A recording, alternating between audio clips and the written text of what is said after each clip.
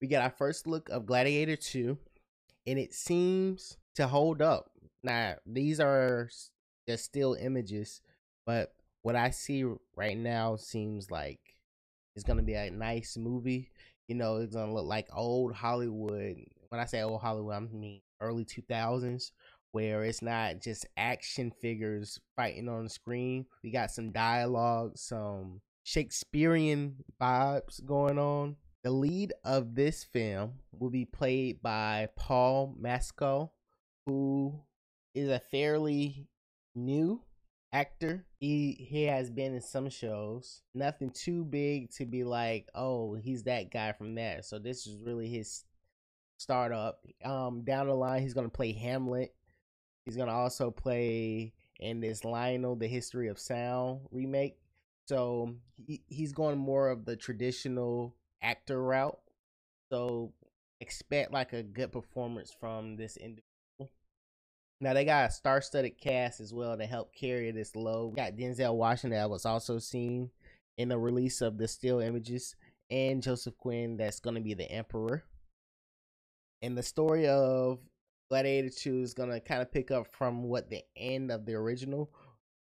The main character, which is Paul Mescal Lucius, will be the son of Maximus, who was being played by Russell Crowe. And we just get an introduction to the cast and the ambiance of this film. And the debate of it will it hold up has already started from 2000 to 2024. Gladiator returns in theaters on November 22. And I'm not gonna lie, it seems like the same world, just updated, better um imagery. But you know, me personally, I like how old Hollywood, early 2000 Hollywood shot their scenes. It, it has more texture and depth. Even in this shot right here, Maximus is just like a gritty still film image. This just look HD as hell. I, I don't find a problem in it. It's just like it was something to that. I think that's probably nostalgia playing with me in my head. This shot of Denzel is just dope. Golded out. Now I do not believe Denzel is gonna be an emperor, but as of right now, his name is not shown in IMDb, so we don't really have any confirmation on the higher ranking of him. We just know he will be a focal member within this cast on the life of uh, Lucius, Maximus' son. Uh, this is Joseph Quinn. He's going to be Emperor Geta.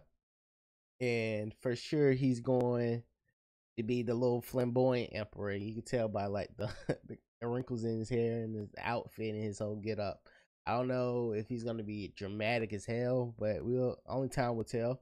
We also get some still images of him being in the uh, cages. Now, the idea of him also having to fight his way out of like poverty is kind of suck, but maybe in this world it is what it is. This is a shot though for them to like bring this uh the drama in the world of Game of Thrones and just subtract the dragon. So it's just more people to people, more Shakespearean dialogue, trials and tribulations on this hero's journey. I always liked the original film. I watched it mad late because I'm not that old to be uh watching it when it was released. Like I was three years old, but when I looked at it, I understood why people gravitated to the story and the idea of Gladiator so well and how it was shot by Ridley Scott.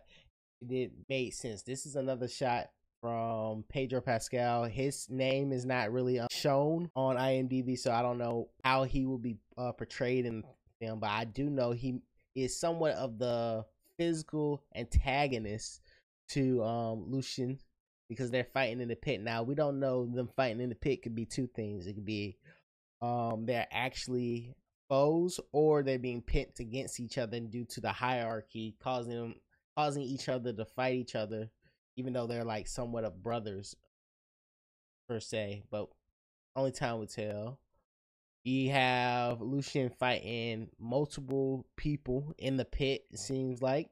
Everybody's kind of armored up except him, so clearly this is a unfair situation and cause Lucian to die quickly as a spectacle. Going back to this, you see it has blood on this uh, this sword, but there's no like cuts on the body. I wonder how gruesome this film will get. Yeah, it doesn't really tell me if it's PG 13 or R-rated, but that'll let us know how gruesome it can get. I'm pretty excited about this world. You know, I always like medieval Rome, those period pieces. Because you have more of like the dialogue carrying the film as well as great action scenes to like have a send off so the film doesn't feel like we, we just heard a conversation in Rome. Tell me what you think. Do you think this is gonna surpass the original, or is just gonna be like a, another dud? No! What are you waiting for? Do, do it! it! Make your dreams Don't come true! Dreams Just dreams. do it!